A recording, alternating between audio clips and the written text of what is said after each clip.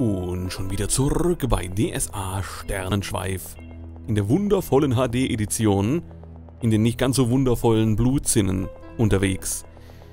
Ja, ich habe vor der Folge mir reichlich Zeit genommen, um mal diverse Dinge zu probieren. Um mal zu gucken, wo könnte es hingehen, was könnten wir machen, was könnten wir tun. Es gibt folgendes Problem. Hier oben waren wir ja schon unterwegs, also hier in der in der anderen Ebene. Übrigens werden irgendwie alle Treppen nur als zweite Ebene bezeichnet. So weiß ich nie, in welcher Ebene ich gerade wirklich bin. Hier oben in dieser Ebene hatten wir die große Halle, wir hatten die Oger, wir hatten diverse Dinge, die hier zu finden... Ich mache mal gerade hier eine Speicherungssekunde. Wir hatten diverse Dinge, die hier zu finden waren. Unter anderem... Also hier hatten wir ja schon rausgefunden, die Oger stehen da und da hinten gibt's Geld. So, hier bin ich nicht reingegangen, beziehungsweise habe es einmal versucht und bin direkt wieder raus, obwohl da zwei Schatzkisten stehen. Da hinten steht eine und da steht eine. Das war aber nicht von Erfolg geprägt. Hier wartet auch nur ein relativ schwerer Kampf auf uns, den ich so nicht überstehen kann. Was ich zwischenzeitlich rausgefunden habe, ist folgendes. Es gibt hier... Oh, meine Lampe ist aus. Äh, wo ist denn meine Lampe? Da ist meine Lampe. Achso, ja, das war noch vom vorigen Versuch. So. Ähm, zack, zack. Lampe füllen. Lampe anzünden. Hier geht's runter. Und wenn man auf der Karte rauszoomt, sieht man, aha, da kommt so ein blaues Eckchen von der Treppe. Kommt zustande. Genauso wie übrigens hier kommt ein blaues Eckchen von einer Treppe zustande. Wenn wir jetzt hier runterspringen, ups, umgehen wir quasi den Kampf in diesem, in diesem Raum, der mit den, mit den Fällen. Das wäre dann da oben. Wir kommen in die zweite Ebene, was auch immer. Wir kommen hier runter. Hier unten ist so gut wie nichts. Das Einzige, was wir hier haben, ist eine Tür, zu der wir keinen Schlüssel haben. Aber wir kommen hier auch noch in die zweite Ebene. so, und in dieser zweiten Ebene gibt es folgendes, nämlich hier Fallgruben und hier eine Geheimtür. Valaria wirft einen Blick auf die Wand und meint dann plötzlich, das ist doch ein Schlüsselloch hier. Mit dem Finger deutet sie auf eine kleine Öffnung zwischen den Steinen. Leider haben wir keinen passenden Schlüssel. Naja gut, das kann schon mal passieren. Das ist nicht so schlimm. Hier geht es an Fallen vorbei. Ich mache das jetzt einfach gerade mal so. Und hier habe ich mir schon gedacht, hm, da leuchtet aber was. Das ist ja seltsam. Und wenn wir Androsch nach vorne setzen, wird er, glaube ich, relativ zügig erkennen können, dass hier eine Geheimtür ist. Da. Check Sinnesschärfe. Ja, weil er Tollwut hat, ist er gerade nicht so gut drauf. Endlich erkennt ihr meine überlegenen Fähigkeiten. Na endlich. Ludwig wirft einen Blick auf die Wand und meint dann plötzlich, das ist doch ein Schlüsselloch hier. Haben wir auch keinen passenden Schlüssel für. Jetzt hatte ich überlegt, wir hatten ja, wir sind hier ganz woanders. Wir hatten ja hier, uns mal orientieren. Wir hatten ja hier im Gefängnistrakt, hatten wir ja eine Tür. Äh, wenn ich noch wüsste, wo sie, wo sie ist. Ich, nee, nicht diese Tür, diese Tür. Hier. Und da bekommen wir einen Schlüssel. Also habe ich mir gedacht, okay, dann gucken wir, nehmen wir, nehmen wir mal diesen Schlüssel, auch wenn der Kampf ziemlich hart war und Leute gestorben sind, und probiere die Schlüssel mal hier unten aus. Aber dieser Schlüssel führt uns hier nirgendwo weiter. Und das Problem ist, er schließt auch nicht diese Tür auf. Ähm, ja. Dann habe ich versucht, dann habe ich versucht, durch die große Halle zu schleichen. Ne, ihr wisst da, wo die Orks sind, da wo die Orks ihre Party feiern, habt mir gedacht, okay, da kannst du bestimmt dran vorbeischleichen und kannst dann äh, irgendwo hin, wo vielleicht unsere Sachen untergebracht sind. Das Problem ist, ich habe es wirklich mit allem versucht. Ich bin mit Rayada vor. Rayada hat keine Behinderung durch irgendwas. Die kann sehr gut schleichen. Ähm, ich habe sogar extra noch auf Rayada einen Visibilivanita gezaubert mit Valaria. Dafür hatten wir ja noch genügend Punkte übrig. Das Problem ist, ich habe wirklich alle Wege in dieser großen Halle ausprobiert und ich habe keine Möglichkeit gefunden, an den Wachen vorbeizuschleichen. An einem gewissen Punkt kommen die Wachen regelmäßig aus ihren Löchern gekrochen und sagen, huch, da ist doch jemand. Egal wie leise Rayada ist und egal wie Visibilivanita sie ist, es spielt keine Rolle. Das heißt, in der großen Halle bin ich auch nicht weitergekommen. Jetzt ist das Einzige, was mir noch in den Sinn kommt, dieser Raum da hinten, das war ja eine Arena, wenn ich mich richtig entsinne. Das heißt, da warten auch nur Kämpfe auf uns. Das Einzige, was mir tatsächlich noch in den Sinn kommt, was wir noch ausprobieren könnten, ohne eventuell sofort auf endlose Gegnerscharen zu treffen. Achso, ich sollte die Laterne wieder anzünden. Äh, die kannst auch wieder ruhig hier rüber geben.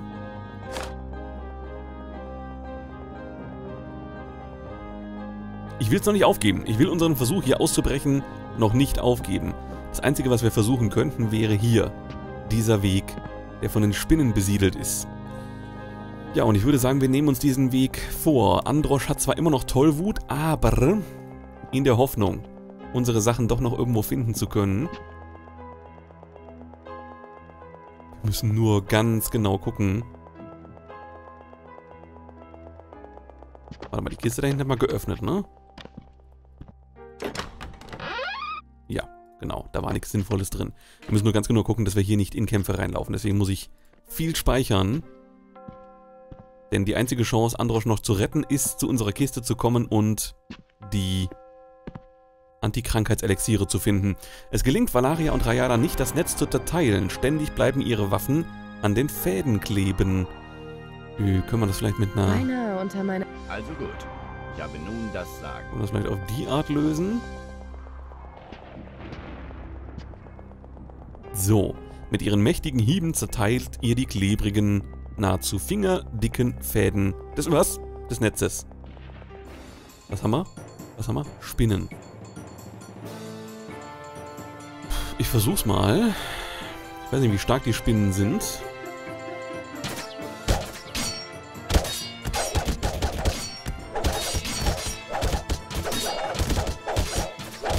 Ja, die Spinnen haben Gift. Wundervoll.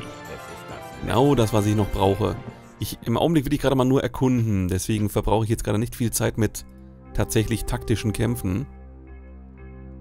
Noch mehr Spinnen. Schön. Weil wenn das wirklich der Weg sein sollte, dann müsste ich an dieser Stelle noch einmal neu laden. Ja, die haben richtig ordentliches Gift. Dann müsste ich an dieser Stelle noch einmal neu laden. Ihr kommt in eine große natürliche Höhle. Hier und da könnt ihr im Dunkeln ein Glitzern erkennen. Der Geruch, der hier in der Luft liegt, beraubt euch eures Atems. Es ist der Geruch von Tod, Moder und Höhlenspinnen.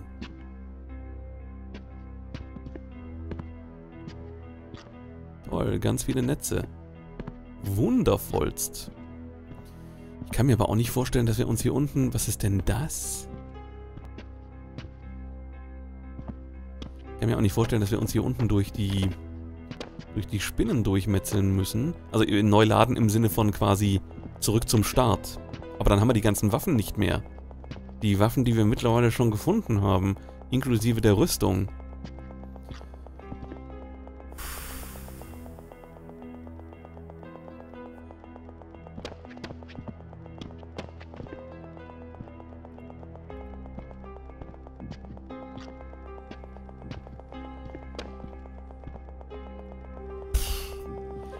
Kommt alle zwei Sekunden ein Kampf gegen Spinnen. Das werde ich auch nicht aushalten.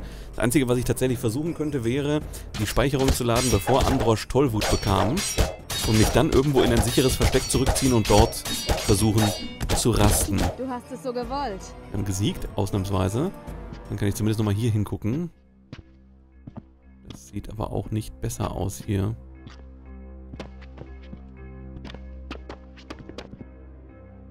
Von der Decke prasseln Steinbrocken auf euch hinab. Schön. Ja, okay, alles klar.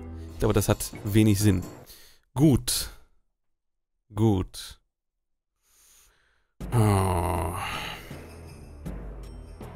Es wäre mir mittlerweile sogar egal, wenn wir es schaffen würden, einfach erstmal rauszukommen. Dann würde ich nämlich zurück nach, nach äh, Tjolmar und würde erstmal die Gruppe wieder ausstatten mit Waffen, Kleidung, Rüstung und dann wiederkommen, um meine magischen Items zu besorgen. Das wäre mir durchaus recht. Hauptsache, wir kommen hier irgendwie raus. Pass auf, ich mache das folgendermaßen. Ich äh, gehe nochmal gerade zurück, beziehungsweise ich lade nochmal den Spielstand, bevor Androsch krank geworden ist. Da muss ich jetzt ein bisschen suchen. Ich habe mittlerweile ziemlich viele Spielstände. Da muss ich ein bisschen suchen und dann werden wir uns hier unten nochmal hinbegeben, in der Hoffnung, dass wir vielleicht hier rasten können. Einen ganz kleinen Augenblick.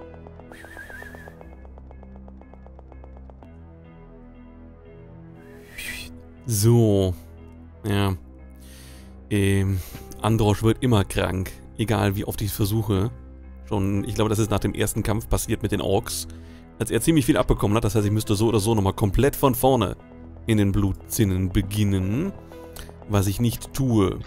Was ich nicht tue. Wir hätten hier theoretisch noch einen Weg. Ähm. Wow, cool. Von der Decke prasseln Steinbrocken herab. Gut, dass ich gerade gespeichert habe. Wie schön.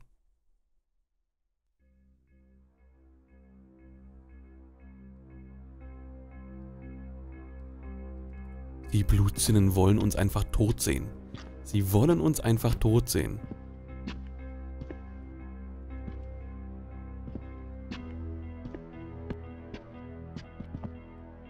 Auf dem Boden könnt ihr einen Haufen Unrat erkennen, in dem sich offensichtlich etwas bewegt. Wollt ihr ihn näher untersuchen? Ja. Ihr schiebt den Müll ein wenig zur Seite und erkennt, dass es sich um fette, fingerlange graue Maden handelt. In diesem Moment hört ihr ein Schaben hinter euch. Was ist denn nur los hier? Zwei Schröter. Ja. Ich will nur erkunden jetzt, ne? Ich mache jetzt nichts Sinnvolles. Mhm.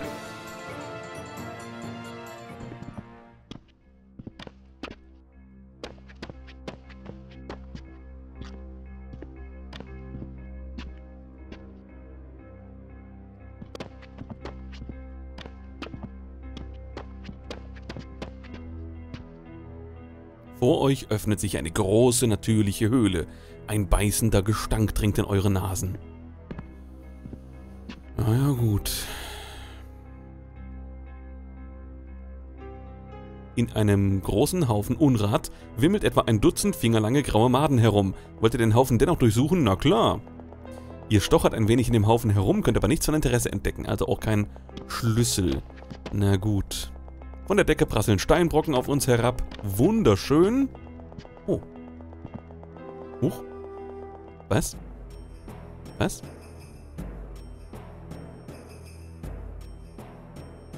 Was? Was? Gegen wo, wo? Ja. Ja. Okay. Na gut, ich verstehe. Alles klar. Gut, ich glaube, das hat uns nicht weitergeholfen. Eine Sache ist mir noch in den Sinn gekommen. Eine Sache ist mir noch in den Sinn gekommen, die man noch probieren könnte. Nämlich folgendes. Was ich eben rausgefunden habe. Hier diese Netze, ja? Jetzt mal hier so. Ich schicke mal wieder Ludwig nach vorne und Brüder ebenso. Ab jetzt gehorcht jeder mir. Diese Netze, ja? Es kommt nicht immer zum Kampf mit Spinnen. Das heißt, wenn wir uns, das ist zwar ein bisschen fies, aber wenn wir uns durchladen und speichern, ja, hier kommt es zum Kampf. Wenn wir die Kämpfe gegen die Spinnen umgehen könnten, dann hätten wir vielleicht eine Möglichkeit, hier unten durch dieses Gewirr durchzukommen. So, es ist dann zwar ein bisschen, es ist eher zugegeben, es ist ein bisschen exploiten, aber seien wir ehrlich. Hier werden uns schon wieder Dinge entgegengeworfen bis zum geht nicht mehr und ich finde meine Sachen einfach nicht. Da darf ich auch mal ein bisschen fies sein. Und wenn wir noch ehrlicher sind, wenn eine Armee von Orks, wenn eine Armee von Orks die Gruppe entführt, ihnen alles wegnimmt und sie einsperrt über Tage hinweg und hungern lässt. Ich glaube, ich glaube, keine Gruppe hätte da eine Chance, da wirklich lebend rauszukommen. Nur mit viel, viel, viel, viel Glück. Müssen wir gerade gucken, ob hier überhaupt... Ob hier überhaupt das Vermeiden des Kampfes möglich ist.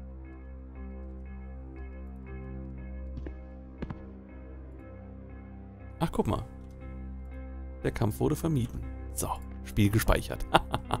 ihr kommt in eine große, große natürliche Höhle. Hier und da könnt ihr im dunklen Glitzer erkennen. Okay, das haben wir eben schon gelesen. Ich will mal wissen, was das hier für ein rotes Leuchten ist.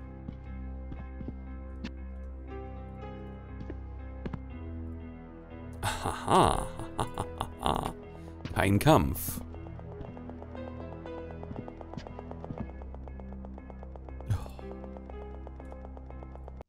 Von der Decke prasseln Steinbrocken herunter.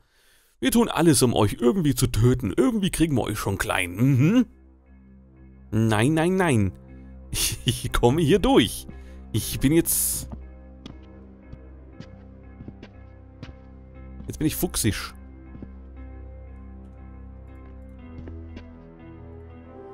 Ja, natürlich. Nee, nee, nee, ich will nicht gegen Spinnen kämpfen. Bin ich ehrlich.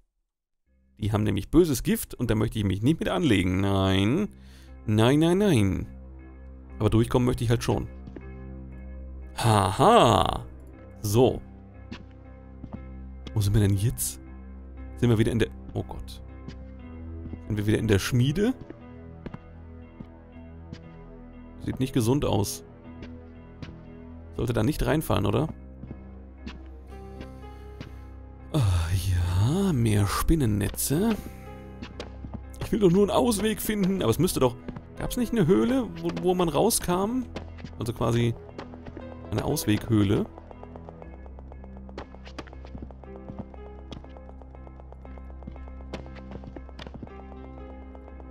Ja. Ich meine, selbst wenn, wenn, wenn, wenn Androsch dann auf dem Weg zurück quasi sterben würde, äh, könnte man ihn immer noch durch ein Wunder wieder zum Leben erwecken.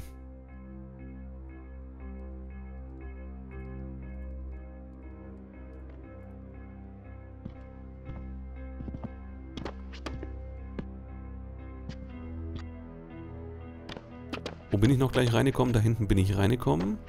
Das heißt, hier würde es theoretisch weitergehen. Ja. Nein, möchte ich nicht. Dankeschön. Ich verzichte gerne auf Kämpfe, auch wenn Brüder mittlerweile wenigstens ein schickes Kettenhemd und einen Plattenhelm anhat. Aber die Spinnen.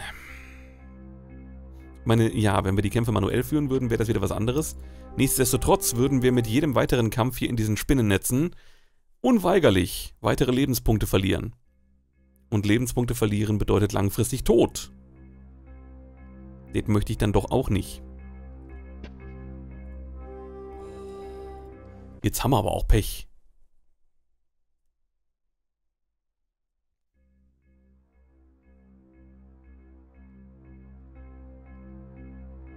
Wenn das Laden nur nicht so lange dauern würde. Ah, na endlich. So. Ich glaube, dieser Kampf, der ist aufgrund der Bodenplatte, auf die wir uns bewegt haben. Oh ja, oh ja. Sehr viele Spinnen, schön. Ich glaube, hier sollten wir nicht weitergehen. Wir haben das Spinnennest gefunden, wenn ich mich jetzt nicht ganz täusche. Aber die Eier da hinten sagen das. Lassen wir das. Lassen wir das, versuchen wir es lieber hier.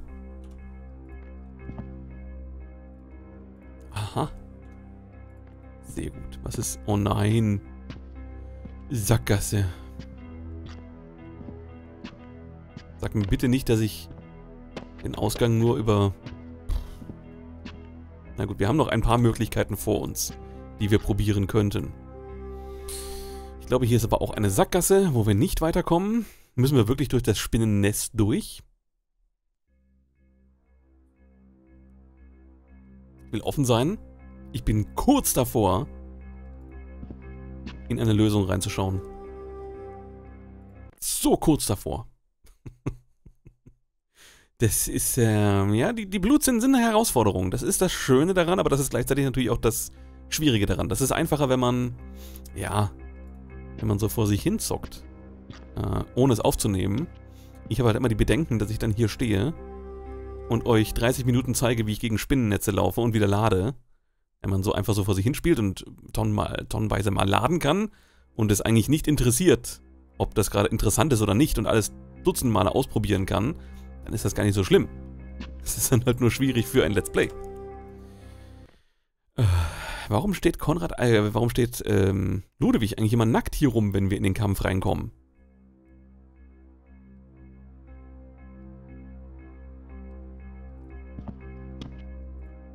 Na, endlich.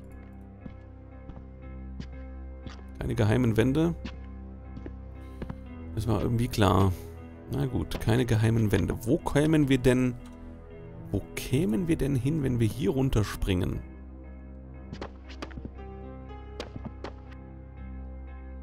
Auf jeden Fall kämen wir nicht mehr zurück.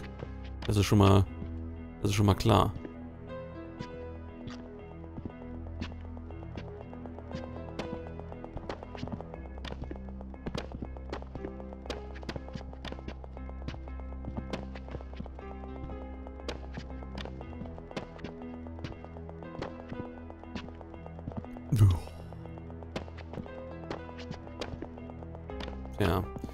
Der einzige Weg, beziehungsweise zwei Wege, die uns noch offen bleiben. Und da hinten sehe ich was leuchten. Das ist normalerweise eine gute Sache. Geh nicht ins Licht. Was ist das? Da liegt jemand. Und wahrscheinlich schon ein bisschen länger. Denn der Mann ist schon skelettiert oder die Dame. Ihr untersucht das Skelett genauer, doch es scheint nichts von Interesse zu geben, bis ihr hinter dem Netz im Wuseln zahlreicher Höhlenspinnen etwas blitzen seht. Wollt ihr nachsehen, was da ist? Ja. Endlich erkennt ihr meine überlegenen Fähigkeiten. Ihr schafft es nicht alle, eure Blicke von den skelettierten Überresten dieses Opfers der Riesenspinnen zu nehmen, und eure Füße fühlen sich wie Blei an. Leider schaffen es nicht alle, ihre Totenangst zu überwinden und müssen entsprechend von diesem Unterfangen ablassen. Was? Ihr trennt die klebrigen Fäden und in einer Nische hinter dem Leichnam könnt ihr ein Florett mit reich verziertem Griff finden, das dem Unglücklichen aber offensichtlich wenig genutzt hat. Mit dem Netz ist nun aber auch die einzige Barriere zwischen euch und den Spinnen verschwunden.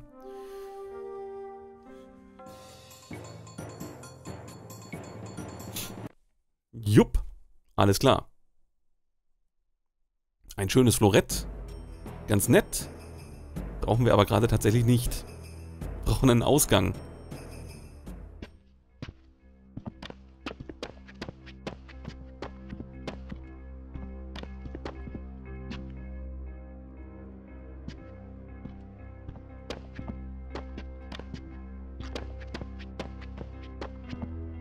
Wie schön.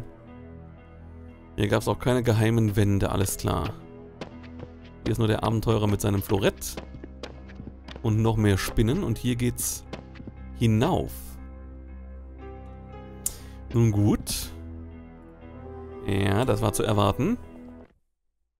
Und wieder ein nackter Ludewig. Das ist am wenigstens ein bisschen, ein bisschen Fanservice für Ludewig.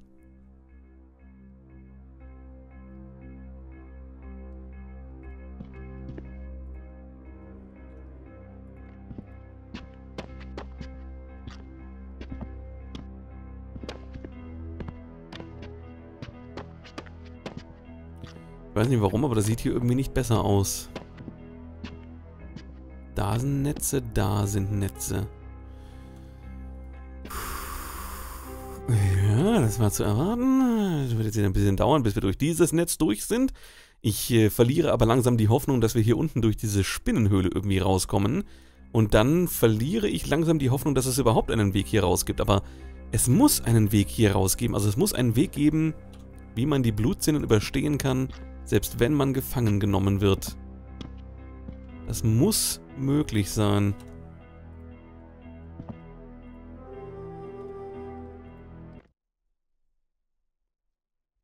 Mhm.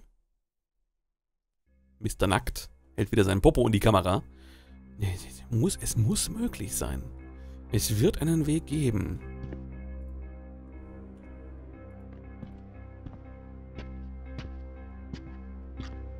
Ach nee, jetzt bin ich wieder hier. Toll.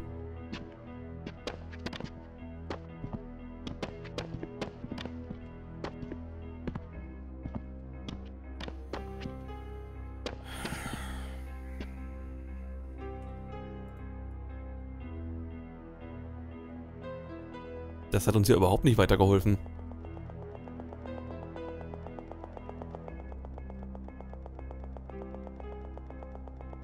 Wisst ihr was? Wisst ihr was? Ich, äh, ich suche mir jetzt mal ein bisschen Hilfe. Ich würde gerne in dieser Folge noch ein Stückchen weiter irgendwie kommen. Ich suche mir jetzt mal ein bisschen Hilfe. Ich bin in zwei Sekunden wieder da. Einen ganz kleinen Augenblick.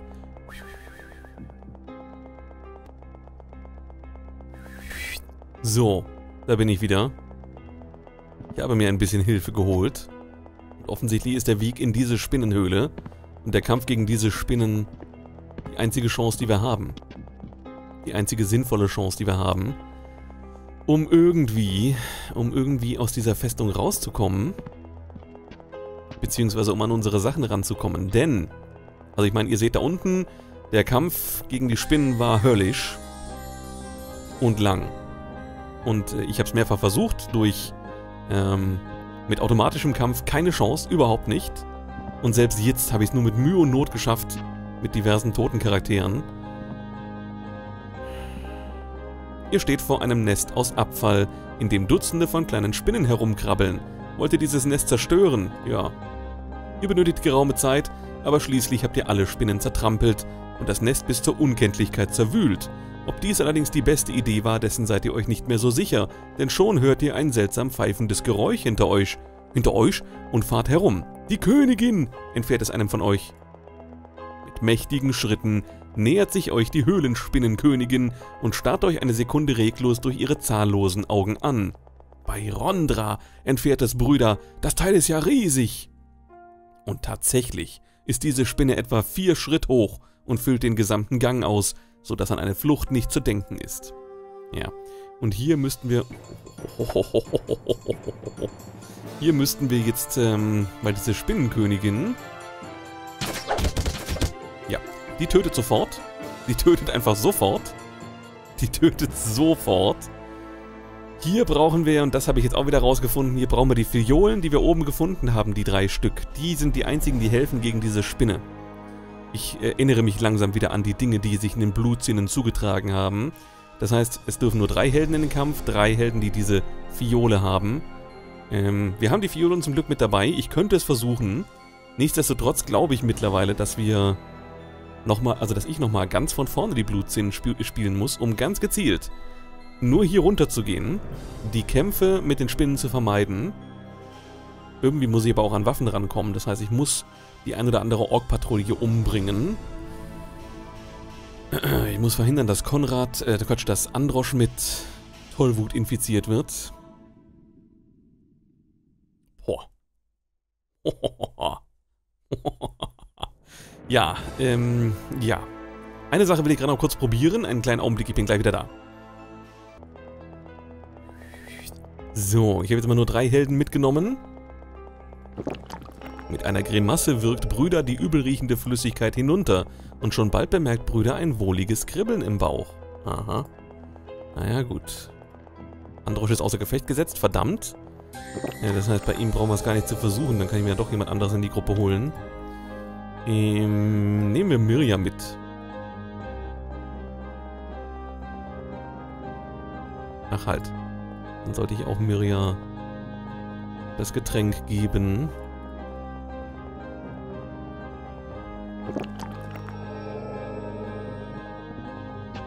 Ich meine, Mirja ist nur mit dem Dolch ausgestattet, aber ich glaube auch nicht, dass wir, dass wir hier so weitermachen können. Ja, da kommt die Spinnenkönigin. Jetzt haben wir alle unser Gegengift getrunken. Ah, Dennoch... Und schon wieder eine Narbe. Starr vor Angst. Ach, wie schön.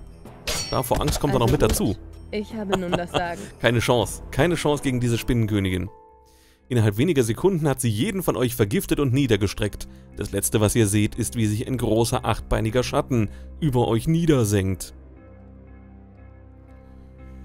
Gut, das heißt, die Blutsinne nochmal komplett von vorne mit der Festnahme, mit dem konkreten Ziel, in diese Richtung zu gehen. Oder doch noch irgendwie einen Weg finden, aus den Blutzinnen zu entkommen. Sprich, zurück nach Tjolma zu gehen und dort auszurüsten und dann wiederzukommen. Und im Zweifel Androsch wiederbeleben, weil wir haben ja nichts dabei, um ihn irgendwie ne, zu beleben. Das ist ja leider unmöglich dann in dem Fall. Puh, okay. ja, ich werde darüber nachdenken, was wir tun werden bis zur nächsten Folge, also bis morgen. Ich weiß es noch nicht. Eine Option wäre tatsächlich auch einfach zu laden vor der Gefangennahme und den manuellen Weg in die Blutsinnen reinzusuchen. Die Gefangennahme ist für gewöhnlich ja etwas, das man tatsächlich tunlichst vermeiden sollte. Ähm, das ist ja auch in der ursprünglichen Retro-Version so, dass wenn man gefangen genommen wird, eigentlich die erste Reaktion ist, nee, Moment, da lade ich lieber nochmal den Spielstand. Ich wollte es jetzt aber versuchen. Langsam sehe ich aber die Chancen schwinden, dass das irgendwie von Erfolg gekrönt sein könnte. Ich überlege mir bis morgen, was wir machen. Ich suche vielleicht nochmal Auswege. Ansonsten bedanke ich mich fürs Zuschauen bis hierhin. Ich bedanke mich für die Geduld, die ihr mit mir habt bei den Versuchen, die wir hier unten durchführen. Ich hoffe, ihr seid beim nächsten Mal auch wieder mit dabei. Und ich sage einfach mal bis gleich. Tschüss.